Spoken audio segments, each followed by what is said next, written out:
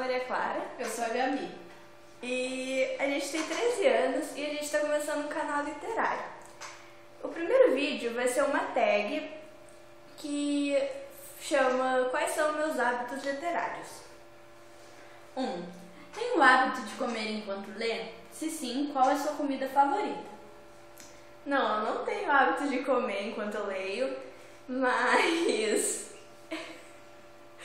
Mas assim, se eu comer é alguma besteirinha, sabe? Um chocolate ou uma bolacha, mas nada tão preparado assim.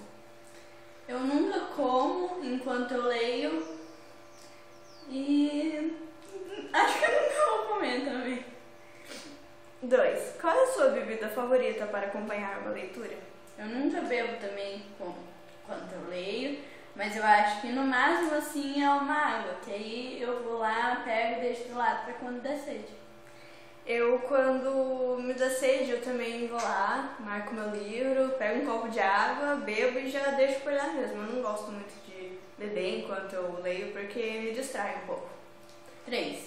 Costuma sublinhar uma ou outra passagem quando está lendo um livro ou acha que escrever no livro é uma ideia abominável? Antes eu achava uma ideia abominável, que não, não devia escrever no livro, mas agora dependendo da passagem, se for uma passagem assim bonita, que eu queira guardar assim, eu até sublinho sim, mas não em toda página, assim, senão acho que o livro fica feio. Antes, qualquer frase eu já sublinhava, assim, mas agora eu não sublinho mais. O que eu sempre sublinho, assim, não sempre, mas a maioria das vezes, é o meu livro de seminário, que seminário é quando a gente lê uma. Nós somos da mesma escola, então a gente acaba tendo que ler livros para depois pegar uma parte e apresentar para a professora. E depois tem a primeira fase, né, que você tem que explicar como que são as características físicas, psicológicas do personagem, o tempo que se passa a história, o espaço e essas coisas. Então eu acabo grifando meu livro para saber quais são essas informações que eu tenho que usar depois. Mas fora livros que não são do seminário, eu acabo não grifando. 4. Como marca os livros quando interrompe a leitura? Tem um marcador especial ou uso o que tiver na mão, exemplo, um papel do, dobrado, etc. Ou dobra o canto da folha do livro?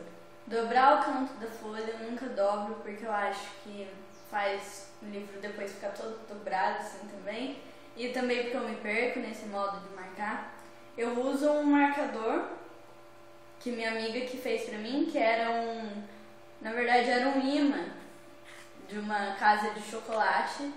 Mas aí minha amiga foi lá e transformou pra mim.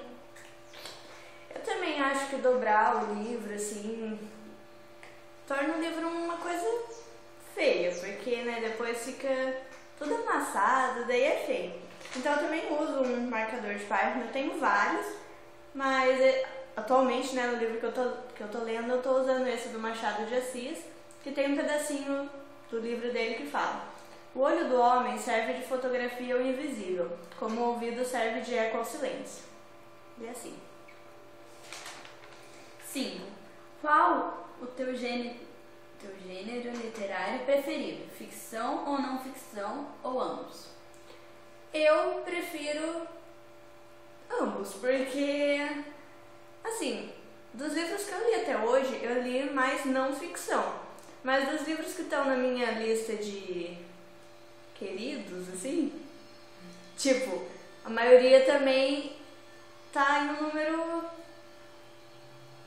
tá em um número igualável, porque tem alguns que são ficção, sim, mas também tem outros que não são, então assim, eu não tenho muito uma preferência. O meu também é ambos, eu não tenho gênero preferido. Normalmente eu vejo em rede social, assim, eu vejo as pessoas falando, ah, eu li tal livro, coloca a resenha. E eu vejo, eu acho legal, eu acho que deve ser uma história interessante. E eu vou lá e leio. 6. Gosta de ler até o fim do capítulo ou interrompe a leitura em qualquer parte do livro? Eu gosto de ler até o fim do capítulo. Porque eu acho que se eu paro no meio do nada, assim, eu depois quando eu volto à leitura, eu me perco da história, eu tenho que voltar um pouco para me recordar do que eu estava lendo. Então eu prefiro ler pelo menos um capítulo assim inteiro. Mas. Espera eu terminar. Desculpa, perdão. Mas às vezes os livros que eu leio têm subcapítulos. Aí fica melhor. Posso falar agora? Pode. Então, eu também tento ler, pelo menos até o fim do capítulo. Mas como eu costumo ler de noite, às vezes eu fico com sono, ou eu canso de ler, aí eu tento pelo menos ler até o fim do parágrafo. Daí eu marco lá, bonitinho. Mas assim, eu tento ler pelo menos até o fim do capítulo, mas assim, parar no meio do nada eu nunca paro. 7. O que você está lendo no momento? No momento eu tô lendo O Fantasma da Ópera, de. não sei falar o nome dele, eu acho que é Gaston Leroux, alguma coisa assim. Eu acho que todo mundo já leu ou ouviu falar desse livro. Assim, eu tô na, no começo da metade. Só que no começo eu achei muito chato, assim, eu não entendi direito porque são muitos personagens, então eu ficava me confundindo. Mas agora já tá começando a ficar legalzinho, fala de um de um homem que na verdade ele não é não é um fantasma, mas todos acham que é pelo modo que ele se veste, assim. E ele perde o camarote dele. E então ele manda cartas para as pessoas falando que que gostaria do camarote de volta e ameaçando elas se elas não derem. Só que daí acontece algumas mortes, assim, e eu tô gostando. A letra é assim, ó, é pequenininha, mas é uma leitura que não cansa tanto, assim, depois do capítulo 7, por aí. E tem 233 páginas, pequenininho pra mim. Eu tô lendo Comando Tribulação. Ele é um segundo livro da série Deixados para Trás. Eu não sei o nome deles, dos autores, como que fala. São dois autores. A gente vai deixar tudo aqui embaixo, tá? O nome do livro e tudo. Eu acho, não é, eu não acho uma letra nem pequena nem grande, eu acho uma letra normal pra mim, sei lá. E ele se, é uma série, 16 livros, e eles são todos baseados no, apocali, no livro de Apocalipse da Bíblia. E eu amo Apocalipse, então pra mim esse livro eu tô amando ele. 8. Tem o costume de procurar o significado de palavras que desconhece quando as encontra no decorrer da leitura? Eu nunca procurei palavra e nem pretendo procurar. Porque eu acho que você entende pelo contexto a história e se você for ficar parando a sua leitura para ficar procurando no dicionário quais são os significados das palavras que você não conhece, atrapalha a sua leitura. Então eu leio entendo o contexto e depois eu pergunto para minha mãe, que aí ela me explica, eu acho mais fácil.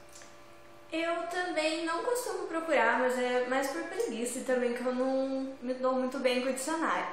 Então, assim, esses dias eu li o livro do Aloysio de Azevedo, ele tem um, uma linguagem mais culta. Então, assim, eu não consegui muito entender. Só que eu fui tentando procurar sentido no contexto e, assim, foi indo. Até consegui entender o livro, assim, sem dicionário, sem nada. 9. Qual foi o último livro que você comprou? O último livro que eu comprei foi A Vida por um Fio, do Álvaro Cardoso Gomes. Eu comprei ele, na verdade, porque é para o meu seminário, como a Gabi explicou, e fala sobre um menino que está internado numa clínica para recuperação de drogados. Então ele tem um flashback assim da vida dele, eu não li ainda, mas está falando aqui na contracapa, e parece ser legal, eu acho que eu vou gostar assim. É, a letra é assim, ó, pequenininha. Tem alguns desenhos, sim, nas páginas. E são 125 páginas, são, é pequenininho. Eu acho que eu vou gostar, sim. O último livro que eu comprei também foi A Vida por um Fio. Eu comprei na Essente Virtual. E é pro seminário também, então a gente teve que comprar. Mas eu também acho que eu vou gostar, porque eu gosto bastante dos livros Álvaro Cardoso Gomes. 10. Costuma ler um livro de cada vez ou tem o hábito de ler vários livros ao mesmo tempo? Eu leio um de cada vez porque eu acho que eu me perco na leitura. Se eu ficar lendo, se eu ler vários ao mesmo tempo, eu vou misturar personagem, vou misturar contexto, e nisso eu não vou entender a história direito e não vou poder absorver tudo que o livro poderia me dar. Eu também costumo ler um por vez, porque eu acho que se eu ler dois e um for melhor que o outro, eu vou acabar me apegando mais no que é mais legal para mim. Então eu vou deixar o outro de lado e pode ser que no começo aquele livro não seja tão legal, mas depois no final pode ser que me surpreenda e eu vou acabar não sabendo. Então eu acho que tem que ler um livro por vez para poder, né, saber se é legal ou não. Tem um local favorito ou uma hora específica do dia para ler? Não, não tem um local específico nem uma hora específica. Tanto, tanto que na escola eu tô sempre lendo, assim, no intervalo das aulas é, se eu vou passear em algum lugar, assim, que não vai nenhum dos meus amigos, eu pego meu livro, eu vou ler, sento embaixo da árvore, assim, leio. Só que não, não tenho nem lugar nem hora. Só que eu costumo mais ler de noite, porque tá todo mundo em casa dormindo, então é mais silêncio. Então eu consigo entender melhor a história, nada tão afirmativo assim. Eu não tenho um local nem uma hora específico, sempre na escola eu tô lendo, mas em específico não. E quando eu saio também eu acabo levando meu livro, mesmo que eu não importa para onde eu vou, se eu tô levando minha bolsa ou se não tô levando, eu tento levar um livro. Tem lugares que é lógico, não dá para você acabar levando, mas sempre que dá eu levo um livro comigo e eu não tenho problema com barulho, porque tem livro que você tem que prestar atenção quando a linguagem é um pouco mais difícil. Mas quando a linguagem não é tão difícil, Pra mim, exemplo, na sala, às vezes o pessoal não para de falar. Mas isso não me atrapalha na leitura. Eu acabo conseguindo ler do mesmo jeito. 12. Prefere séries ou histórias únicas? Antes eu preferia histórias únicas, mas agora eu comecei uma série. Então acho que depende. Tem história única que é boa e tem um e tem séries que são boas. O único problema é que histórias únicas não têm as continuações. Mas também continuação nas séries, uma hora vai ter o último livro. Então de um jeito ou outro vai acabar. Eu gosto dos dois também, mas eu leio mais séries. Só que assim, eu acho que tem pessoas que se prendem muito a uma série, entendeu? Então quando vai ler um outro livro, acaba não gostando muito porque tá viciado assim na série. Então eu acho que comigo isso não acontece, assim. Porque eu consigo ler o livro da série e depois ler um livro único, sem interferir nem nada disso, mas pra mim tanto faz, eu, eu leio mais série, porque eu acho que quando eu fico presa a uma história, assim, que eu gosto muito dela, eu gosto de ter a continuação sempre pra mim estar tá ali lendo e nunca acabar, mas eu, qualquer hora vai acabar de um jeito ou de outro, mas eu não me prendo não a ou um livro único ou um livro de série. 13. Tem algum livro ou autor preferido que não se canse de recomendar para os, para os outros? Olha, autor, tem o Álvaro Cardoso Gomes, né, desse livro que eu acabei de comprar, e eu já li alguns outros livros dele, só que, assim, não recomendo assim que, nossa, foi o melhor livro que eu já li, não, mas ele, eu acho ele um autor bom. Agora, de livro que eu recomendo para todo mundo, é o Marley Eu, do John, John Grogan, que, assim, eu sempre quis ter um cachorro, gente, sempre. Apesar de eu ter um gato, eu sempre quis ter um cachorro e eu nunca pude. Então, assim, eu acho que eu me prendi demais a isso. E eu comprei esse livro, acho que foi em 2008. Só que em 2008 eu não lia tanto, então eu acabei nem lendo, até porque eu comecei, só que o começo é muito arrastado, só fala sobre a raça do labrador, né? Então, assim, é muito, muito, muito arrastado. Então, assim, eu não consegui ler no começo. Mas daí ano, ano passado, eu acho, eu consegui é, ler inteiro e me surpreendeu do meio pro fim, assim, foi uma história que eu não conseguia parar nunca. E no final eu chorei muito, muito mesmo. No filme eu não achei tão bom, mas o, o livro eu achei muito bom mesmo. A letrinha desse tamanho, assim, é pequenininho mesmo. Eu acho que essa é até a versão de bolso, porque eu já vi livros maiores, mas eu não sei porque eu comprei em catálogo. É, são 362 páginas. Não sei se para vocês são muitos, mas eu acho que vale a pena para quem gosta. Eu não tenho um autor favorito, eu acho que tem livros e livros. Depende da história. Meus dois livros favoritos, assim, eu não sei qual é o meu favorito. Mas os dois que eu gosto muito é A Menina que Roubava Livros, que vocês com certeza já devem ter ouvido falar. Ele tem 382 páginas. A letra, eu acho ela meio pequena. Eu amei esse livro, eu chorei muito nele. Eu choro em todos os livros. Então, nesse é óbvio que eu chorei, porque é uma história triste, na verdade.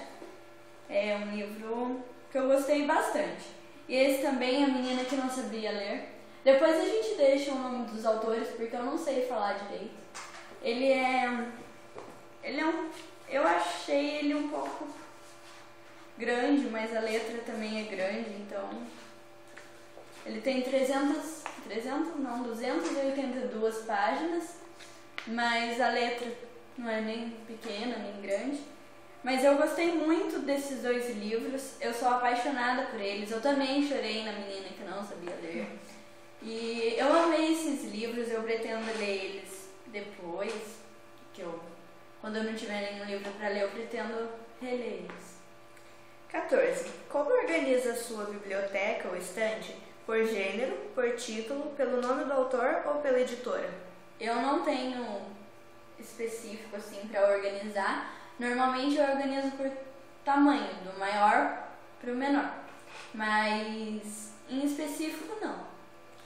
Então, gente, minha casa está reformando e vai ser um quarto que vai ser só uma biblioteca. Aí sim eu vou começar a organizar mesmo, mas por enquanto ele está numa mesa, assim, e eu estou organizando mais por tamanho. Então, assim, quando eu tiver a biblioteca, daí eu acho que eu vou organizar por série e pelo sobrenome do autor, né? Com A, daí só o sobrenome com A. Então, porque eu não quero muito que fique, tipo, um livro de série que tem, sei lá, seis livros. Eu não quero que fique um aqui, um lá no, no fim, assim, por nome do livro.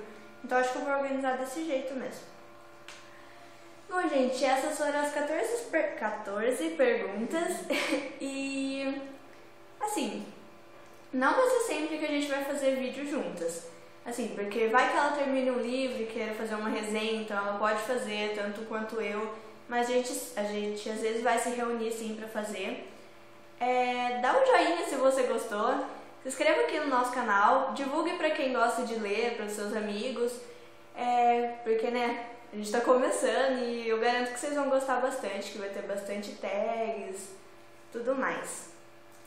É, então é isso mesmo, que você possa estar ajudando a gente a divulgar mesmo, porque somos muito novos ainda no nosso primeiro vídeo, então para estar ajudando a gente. Tchau! Tchau. Deu. Agora